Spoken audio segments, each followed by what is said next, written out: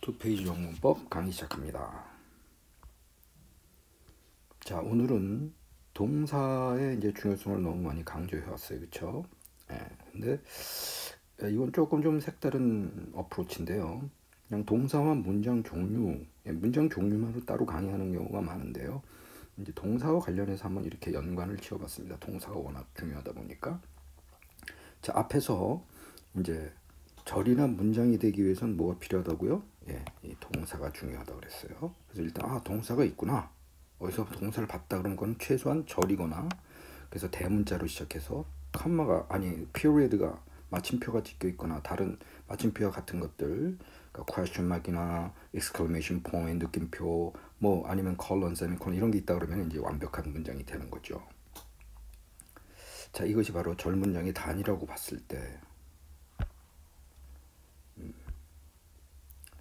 문장의 종류에는 문장의 종류에는 이렇게 단문이 있죠. 예, 대문자로 시작해서 한 동사에 그냥 마침표가 딱 찍혀 있을 때 이제 대문자여야 되죠. 다 대문자입니다. 물론 모든 문장은. 자, 그 다음에 이제 중문이 있고 복문이 있고 혼합문이 있습니다. 중문이라는 건 등위 접속사로 연결된 걸 말하고요. 이거는 종속 접속사로 연결된 걸 말하고요. 포함문은 뭐겠어요? 이거는 중문과 복문이 같이 있는 거죠. 앞에 두, 두, 두 가지 복합문이. 그래서 혼합문 또는 혼문 그러기도 합니다. 그러니까 여기는 접속사가 등위 접속사 하나, 종속 접속사 하나가 이렇게 있겠죠.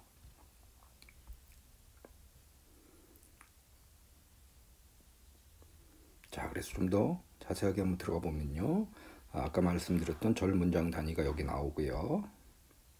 그래서 보통 simple 단문이죠. 대문자로 문자 모든 문장은 이렇게 이거에 대한 얘기 단문만이 아니라 모든 문장이 그렇습니다. 대문자로 시작해서 마침표 등으로 끝낸다.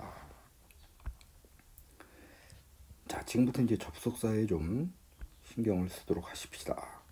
자, 두 절 또는 문장 단위 사이에 접속사가 왔어요. 그런데 그 접속사가 일곱 개의 등위 접속사가 있습니다. and, but, or, for, nor, so yet. 예, 이게 미국 아이들은 fanboy 이렇게 외웁니다. fanboy. 근데 저는 그냥 이렇게 이 순서대로 해놨어요. 우리가 보통 and, but, or 절 제일 먼저 배우고 주의해야 될 게 전치사 for가 등위 접속사로도 쓰인다라는 겁니다. 그 다음에 중요한 거는 다른 것에서는 콤마가 있는 게 원칙입니다. 없어도 그렇게까지 뭐 이상하게 보이지 않는데 so만큼은 항상 컴마 so 이렇게 외우세요. 예, 컴마가 없으면 완전히 틀립니다. so인 경우는. 예. 자, 그 다음에는 이제 접속하고 또 이런 게 왔을 때 뭐가 올까요? 어떤 접속사가 올까요? 네, 복문인 경우죠. 아까 이거는 등위 접속사일 때는 중문이라고 그랬고 종속 접속사에는 복문이 되는데 이것이 어떤 게 subordinate conjunction 종속 접속사냐 엄청 많습니다.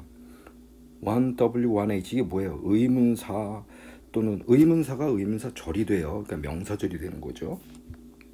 그 다음에 관계대명사도 다 되죠. 이게 관계형용사, 관계부사 이런 게 있단 말이에요. 걔네들도 다 접속사로 쓰이죠.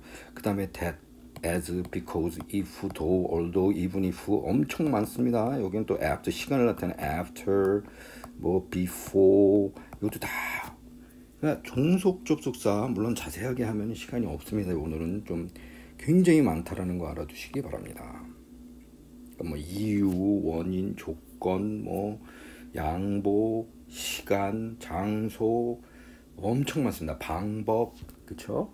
그게 형용사절일 수도 있고 명사절일 수도 있고 부사절일 수도 있고 자, 그 다음에는 약간 마지막으로 네.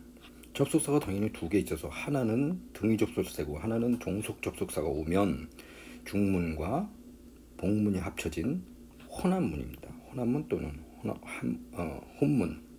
그래서 등위 접속사. 그러니까 당연히 당연히 동사가 몇 개겠어요? 세 개가 나오겠죠. 그렇죠? 물론 더 올 수도 있습니다. 왜냐면 문장 안에 요 and로 두 동사를 붙일 수도 있어요. 그렇죠? 뭐 가서 뭘 했다. 그러면 가서 뭘 한 거는 요 안에서는 또 그 동사 두 개가 연결되는 거죠.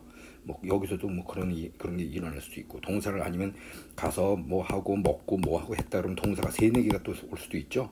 뭐 그런 거는 이제 동사끼리의 연결입니다. 단순하게 한 문장 속에서 또는 한 절 속에서 그러니까 이제 그런 거하고도 구별하시기 바랍니다.